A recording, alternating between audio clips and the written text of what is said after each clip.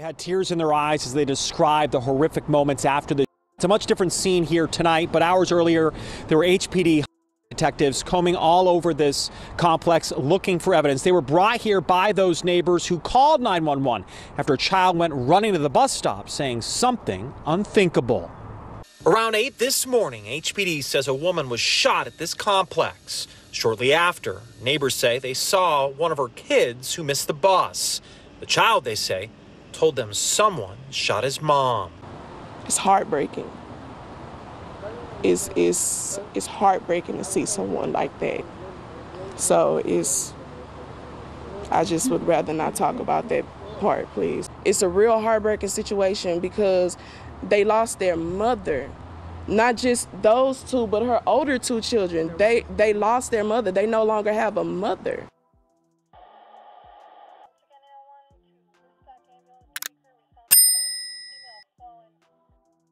In the morning hours of October 2nd, the Houston Police Department responded to a disturbing call at the Willow Green Apartments near 249 and FM 1960 in regards to a person shot. Upon arrival, the authorities were met with a terrifying scene where a woman was found shot multiple times inside her home. So, a woman was fatally shot by a known male I don't know if it's the ex-boyfriend. I mean, we got people saying that it's like a, it was a relationship situation, but uh, something along those lines. She was shot by this male around 8 a.m. 911 was called. A neighbors, the neighbors came to help, and one of the neighbors was trying to, you know, keep her alert and and and alive, you know. And, and EMS arrived, HPD arrived. Unfortunately, the the lady passed away. The suspect fled the scene and the saddest part of all of this, friends, uh, aside from the from what happened to the lady, is that this happened in the presence of, of her children. Her children were here.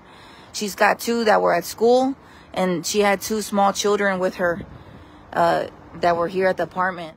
The victim was identified as 32 year old Jackelyn Wilson, and sadly, she passed away on the scene after being shot nine times.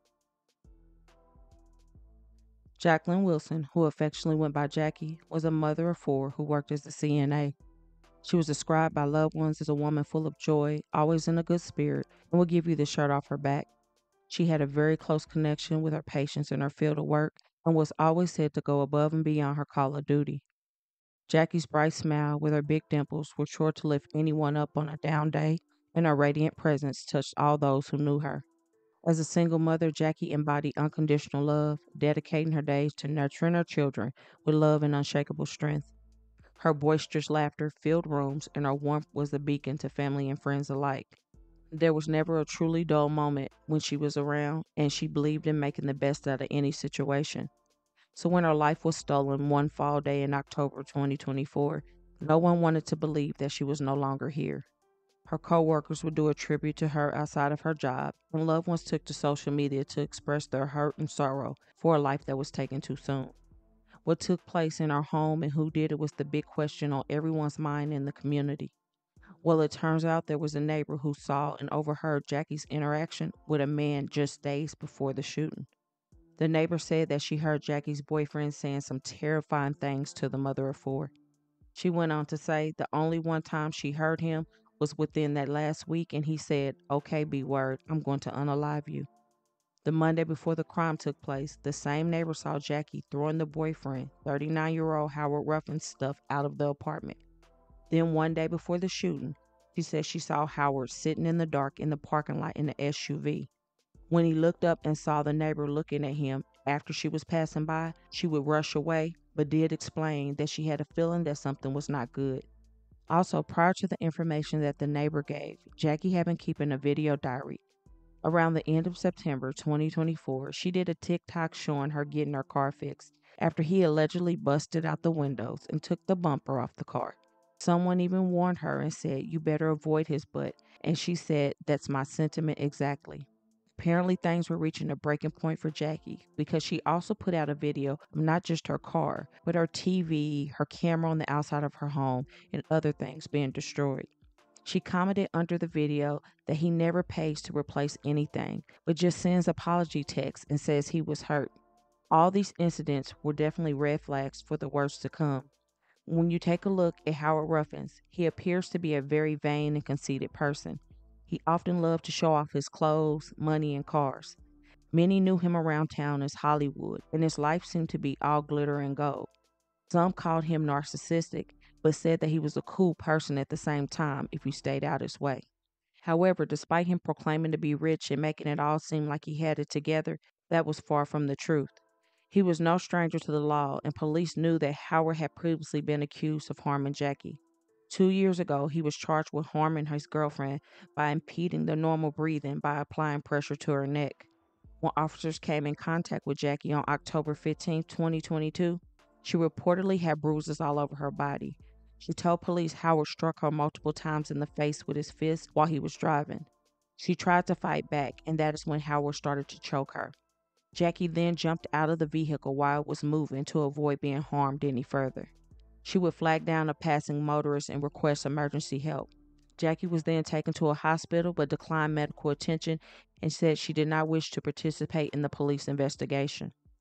Police gave her a ride home, and during that time, she again stated she did not want help but that she was in trouble. She sadly was crying out for help and had to be scared of what he would do. The officer reported that he did not know what she meant but believed her life to be endangered, and he requested an order of emergency protection which apparently was never granted. Howard also had another charge of harming a family member that he served three days in jail behind in Walker County. So he was definitely a repeat offender, but would always end up back on the streets. So on the morning of October 2nd, there was no surprise to find out that Howard was the alleged suspect that was seen fleeing the scene after the shooting. The door was said to be unlocked that morning, and Jackie's kids were all preparing for school. The two oldest, who were not in elementary, had already set off to school. The time was around 8 a.m., and the younger two were preparing to do the same thing when Howard allegedly walked in the home and shot Jackie nine times in front of the kids. After Howard was seen on the neighbor's camera leaving so casually, the kids ran to find help. This is when two women were flagged down and they told the kids, You all missed the bus. This is when one of the young boys said, I know, but he shot my mom. The women would immediately spring into action and go to the apartment where Jackie lived, where they found her gasping for air. As they tried to keep her fighting and stay awake, she sadly passed away on the scene. By this time, authorities were on their way, but it was too late, and Howard had fled the apartment. Houston police investigation led them straight to Howard, and hours after the shooting, he turned himself in to speak with detectives. He also complied and provided a statement to detectives and was arrested and charged. He is currently being held at the Harris County Jail, and prosecutors are asking the judge to deny bail. When she saw the police tape, her worst fears came true. We told you about the brutal last night. The victim was in front of her own kids at their home on the northwest side. And the suspect has since turned himself in. Howard Ruffin will soon face a judge for this charge. He was actually supposed to appear in court today for a separate family charge involving the same victim. He didn't appear. However, this is a pattern of family that neighbors say they saw and worried would escalate. What happened inside this Northwest Houston apartment has left neighbors in shock. It's just like painful, I guess. Like my heart hurts. That's what it. I could say that my heart hurts about it. On Wednesday morning, a doorbell camera shows a man enter an apartment. Seconds later, you hear shouting and nine gunshots. Witnesses told ABC 13 the victim's two children were inside. They weren't hurt. Her two other children were in school. Court documents reveal the victim was Jackelyn Wilson. Neighbors say the two were in a relationship. Earlier this week, they say Wilson tossed Ruffin's stuff out. Documents reveal Ruffins face multiple family charges. Three years ago, Ruffin was convicted in Walker County for a family member. Two years ago, he was charged in Harris County for hitting and strangling. Prosecutors asked for a protective order, but she never got it.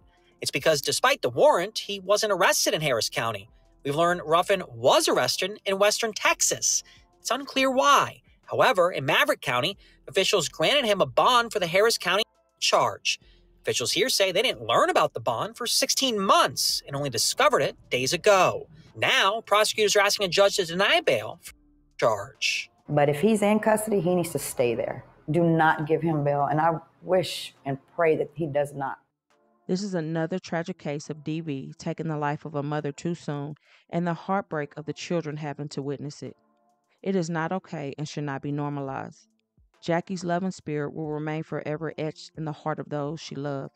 And though her time here was brief, She left behind a mark on the world through her kindness and generosity. Her legacy will live on through her children and the love she instilled in our children, plus the countless lives she touched. Not only are four children without a mother, but Jackie's one and only daughter lost her father less than two years ago, and then Howard was a father too. So sadly, there are many kids affected by this unconceived tragedy. My thoughts and prayers are with all involved, and I pray for full justice to be served. Please don't forget to comment your thoughts and prayers too as well for this family in this difficult time. And hit that like button and share to make your people aware. And as always, remember to stay woke. Things change quickly.